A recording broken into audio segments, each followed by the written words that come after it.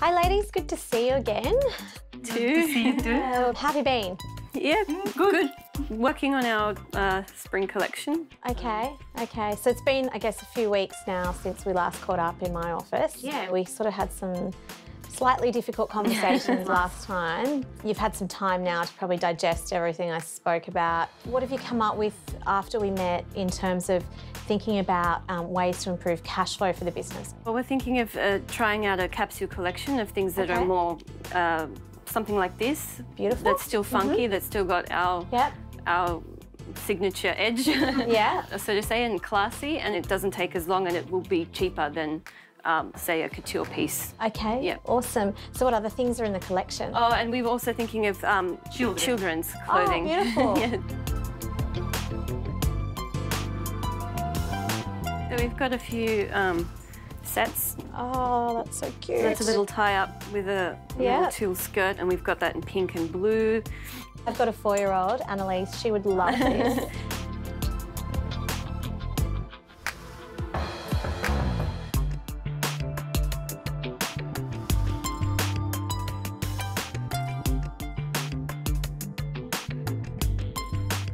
What sort of price point are you, you, you looking at oh, for these? The, the sets would be around like 250, I think we were thinking. Okay. And they're like light cottons and things that um, are not as, it doesn't take as long to make, but it's still like the good quality. And where will you be selling this, the, this collection? We're going to do it on our website uh, and a few marketplaces and see how we go.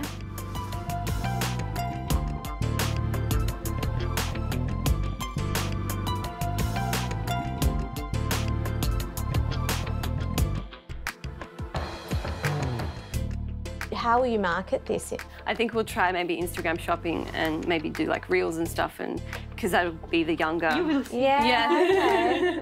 oh, that's really good. I am so glad to hear and I'm really thrilled to hear that you've um, taken on board, you know, what we spoke about in our last couple of meetings. Thank you.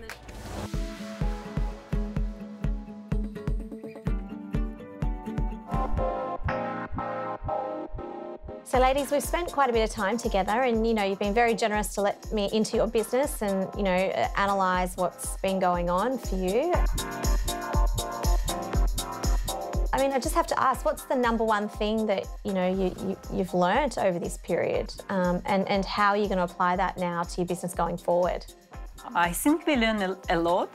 Yeah. And now we're more um, calculate numbers. Yeah, we'll, we'll... and be more thinking, be more like uh, organized and less procrastinate and working more harder. We, we, yeah, we won't just do what we love, we'll do the hard stuff too. yeah, okay. Yeah. I think we're just gonna um, write everything down and maybe not in a spreadsheet how you would, but just so we know what, how much time we spend and have a bit of like an outline of what we're, what okay. we're doing.